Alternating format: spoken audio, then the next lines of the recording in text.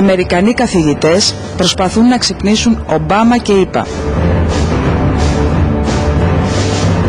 Καθηγητά Μίλλερ, οι σημερινοί κάτοικοι των Σκοπίων αυτοαποκαλούνται Μακεδόνες και ονομάζουν τη χώρα τους Μακεδονία. Θα ήθελα να μου πείτε ιστορικά, επιστημονικά, πώς καταρρύπτεται ο ισχυρισμός τους αυτός. Αυτή η χώρα στην αρχαιότητα λεγόταν Παιωνία και οι ντόπιοι ήταν Παιώνες. Μέχρι τον 3ο π.Χ. αιώνα τουλάχιστον, 100 χρόνια μετά τον Αλέξανδρο, ήταν ανεξάρτητοι, χτυπήσανε νομίσματα δικά τους, ακόμη στήσανε αγάλματα στους εχθρούς σαν Παιωνία. Άρα μιλάμε για μια χώρα η οποία ουσιαστικά ήταν, υπήρξε μάλλον υπομακεδονική αυτοκρατορία. Δεν... Ναι, όπως η Αίγυπτος και η Παλαιστίνη. Και δεν λέμε την Αίγυπτο Μακεδονία. Δεν γίνεται. Είναι διαφορετικά. Μην ξεχνάμε ότι κατά κάποιο τρόπο η Αθήνα ήταν κάτω του Φιλίππου. Θα έπρεπε να πούμε ότι η Αθήνα είναι Μακεδονία; Πώς εξηγείται αυτή την, αυτή την επιμονή τους να ονομάζονται Μακεδόνες και να χρησιμοποιούν συνεχώς ε, το όνομα του Μέγα Αλέξανδρου.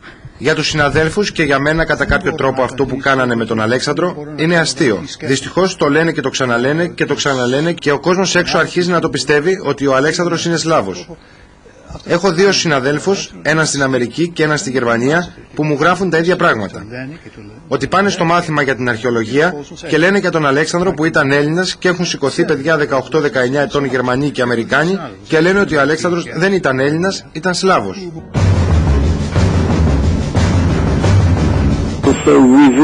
Μέσα στη χώρα των Σκοπίων, ένα μέρος της πολιτικής των Σκοπίων συνηθίζει να εκμεταλλεύεται την απήχηση του Μεγάλου Αλεξάνδρου.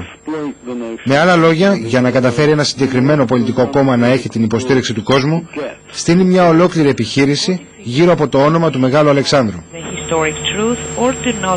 Κατά τη γνώμη σας, αγνοούν την ιστορική αλήθεια ή δεν την αποδέχονται; Δεν τους ενδιαφέρει η ιστορική αλήθεια.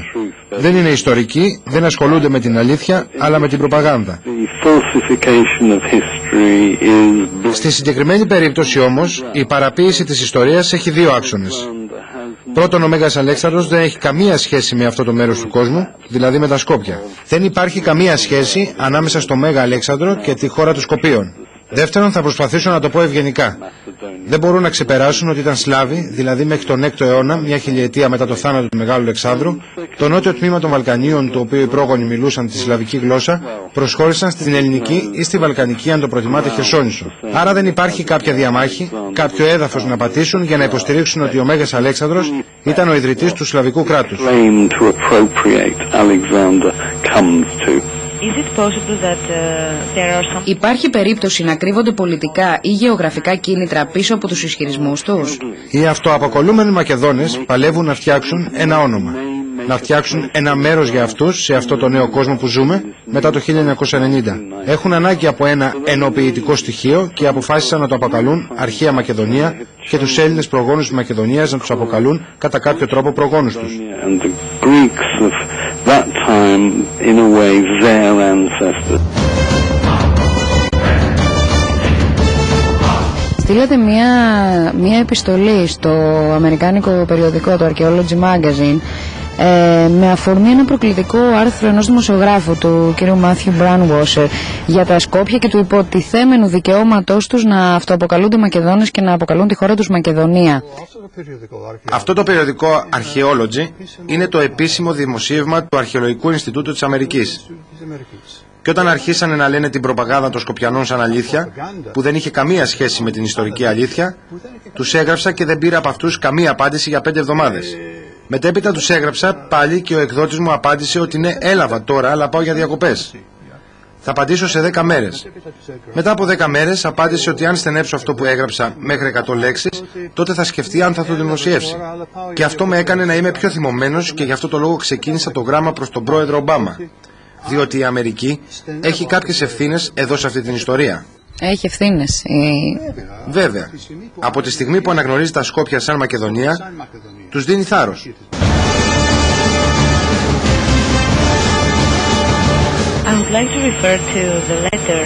Θα αναφερθώ τώρα στην επιστολή που μία ομάδα μελετητών, ανάμεσα σε αυτούς και εσείς, στείλατε στον πρόεδρο των Ηνωμένων Πολιτειών Μπαράκ Ομπάμα. Στην επιστολή σας λοιπόν αυτή μιλάτε για συντρίμια ιστορικής αταξίας που άφησε πίσω της η προηγούμενη κυβέρνηση, η κυβέρνηση Μπούς. Πιστεύετε ότι η κυβέρνηση Μπούς έχει ραμμένη ευθύνης;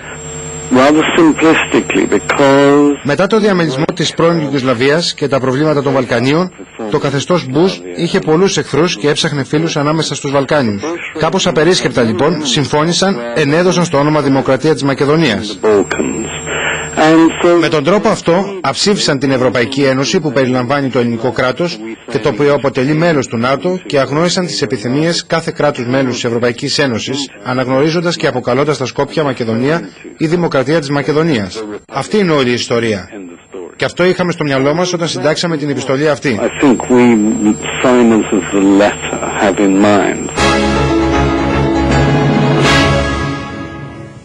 Ότι ήδη έξω σε μια, πολύ μεγάλη μερίδα του κοινού, των φοιτητών, επικρατεί η άποψη ότι έχουν δίκιο τα Σκόπια. Όλο το χρήμα, όλο το χρήμα της πρώην Ιουγκοσλαβίας και του νεοσκοπιανού κράτους διατίθεται για αυτή την προπαγάνδα. Έχουν γεμίσει τις εθνικές βιβλιοθήκες, τις πανεπιστημιακές βιβλιοθήκες όλων των χωρών και των ευρωπαϊκών και των ΗΠΑ και της Αυστραλίας με αυτή την στρεβλή ε, κατασκευασμένη απάτη και εμείς δεν έχουμε αντιδράσει σε αυτό το οποίο γίνεται. Εδώ πέρα δεν χαμπάρι που έχει η Ντούγκαλ στην έδειξε για να συσκέψεις θα παίρνουν χαμπάρι.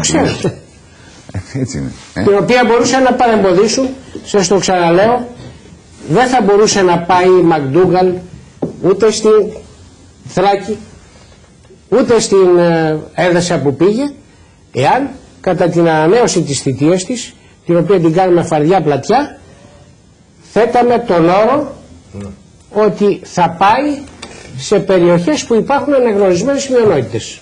Όλα αυτά είναι θέματα Υπουργείου Εξωτερικών. Όλα αυτά είναι δυστυχώς θέματα Υπουργείου Εξωτερικών. Μα και η επιστολή των 300 καθηγητών στηρίζεται σε μια προσπάθεια των Ελλήνων της ομογένειες στην Αμερική. Η Παμακεδονική της Αμερικής είναι αυτή η οποία πρωτοστάτησε για να συγκεντρώσει τις υπογραφές. Ε, το σύνολο αυτής της επιστολής είναι ένα εκπληκτικό αναλυτικό κείμενο που τα το, το αναλύει το θέμα με μια τέτοια έτσι βαθύτητα. Μα και αυτά που είπαν Ιταλία που είπαν καταλάβαμε ότι... Το θέμα είναι ότι κάθε, κάθε πρωτοβουλία της, ομο, της ελληνικής ομογένειας εδώ καταπνίγεται. Εδώ θεωρείται καμία εφημερίδα από τις μεγάλες πανελλήνιες κυκλοφορίες εφημερίδες δεν αναφέρθηκε σε αυτό το κείμενο. Κανένα κανάλι δεν αναφέρθηκε σε αυτό το κείμενο. Είδα σε μικρές επαρχίες. Εσείς λοιπόν κύριε Χαρδαβέλα μείνατε μόνο. Ναι, είναι πολύ... να σας πω ότι αυτό σας τιμάει ιδιαίτερα.